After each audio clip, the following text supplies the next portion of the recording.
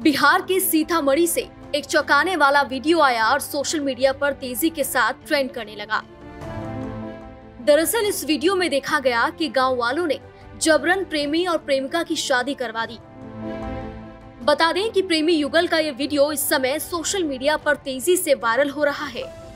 दरअसल प्रेमी युगल को ग्रामीणों ने शिव मंदिर में आपत्तिजनक हालत में पकड़ लिया।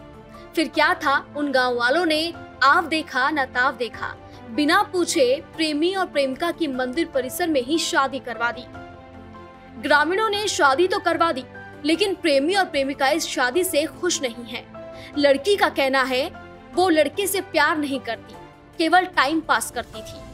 और पैसे ऐंठने के लिए उस लड़के से मिलना जुलना होता था।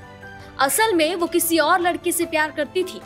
वही लड़के का भी कहना है कि वो लड़की से प्यार नहीं करता था और वो इस शादी से खुश नहीं है। आप ही लोग के तत्व जैसा इंसान जो है ना एनी टाइम निगेटिव सोचते रहता है। हम दोनों के बीच में ऐसा कुछ नहीं था। जो आप लोग सोच रहे हैं ना हम इससे प्यार करते थे ना ये हमसे प्यार करता था। लड़की ने ग्रामीणों पर यह भी आरोप लगाया कि ग्रामीणों ने बिना कुछ पूछे उन दोनों की शादी करवा दी। वहीं लड़की ने लड़के को धोखा देने की बात भी कबूली है। वह इस पूरे मामले का वीडियो सोशल मीडिया पर तेज़ी के साथ वायरल हो गया है। इस वीडियो को देखिए और सुनिए क्योंकि ये वाक्य जो है पूरी तरह से चौंका देने वाला है। आप ही लोग के तत्व जैसा इंसान जो है ना एनी टाइम निगेटिव सोचते रहता है। हम दोनों के बीच में ऐसा कुछ नहीं था जो आप लोग सोच रहे हैं ना हम इससे प्यार करते थे ना ये हमसे प्यार करता था।